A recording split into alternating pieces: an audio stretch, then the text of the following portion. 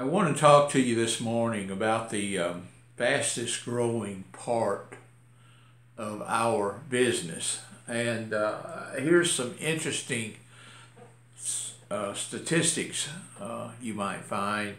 Um, basically, the number of auto dealerships has decreased over the last decade. Uh, a lot of you are maybe wanting to get into the car business and looking at those opportunities. But the fastest growing part of our business now uh, is our buyer's agent.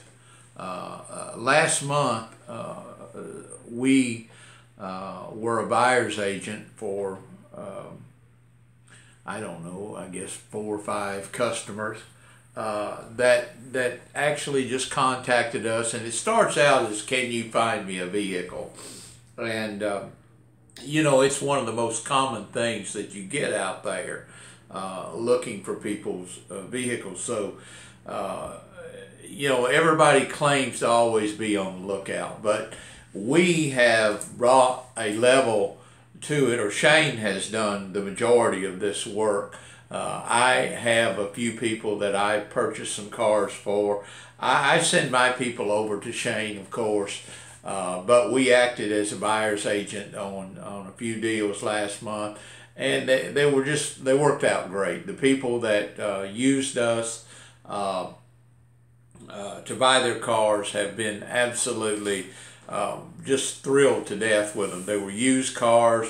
Uh, and and I'm going to go over with you why uh, uh, you can be a buyer's agent. You don't necessarily need a lot. You don't necessarily need a uh, retail license. You need access to the auction and to dealers as a wholesaler uh, to be a buyer's agent, and and it has worked great for us. Shane has hit a market. Uh, his children go to a, a private school in the area and he has really become quite um, popular among the other um, parents in that school as the go-to guy for their their auto purchases, and and that's very wise on their part. Now, uh, being a buyer's agent uh, is going to consist of uh, awful lot of knowledge about buying cars. You you uh, you've got to know uh, basically, you're just like a real estate agent. You're doing comps on cars. You're inspecting cars. Uh, everything re- revolves in these people putting their trust in you for their automobiles. So having scanners, having compression testers, uh, having uh, uh, access to auto checks and Carfax is very important to the buyer's agent. But it has like I said, it has proved to be uh, very popular for us. It helps us maintain inventory.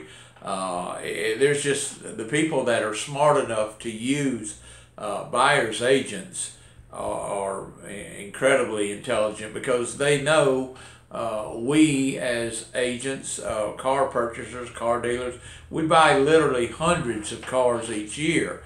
And the average person out there is only buying maybe one car every four or five years. So they're not up to date on things, and and um, you know having the the tools and the information and the data is very important. So um, the the car buying agent is becoming very very popular. So uh, if you're interested in getting your your license, getting access, this is a major starting point. and then you establish yourself as a buyer's agent rather than having the overhead of a car lot. Uh, it, it, hopefully, my goal within the next six months is to be operating solely as a buyer's agent.